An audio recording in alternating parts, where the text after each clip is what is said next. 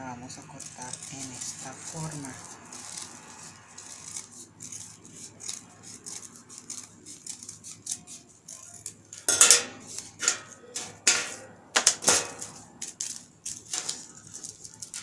Y vamos a hacer unos pequeños dobleces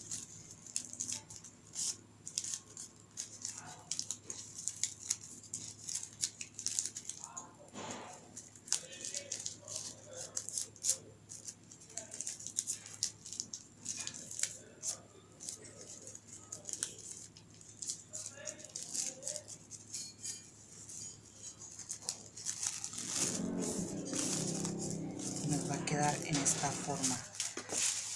Para la hoja verde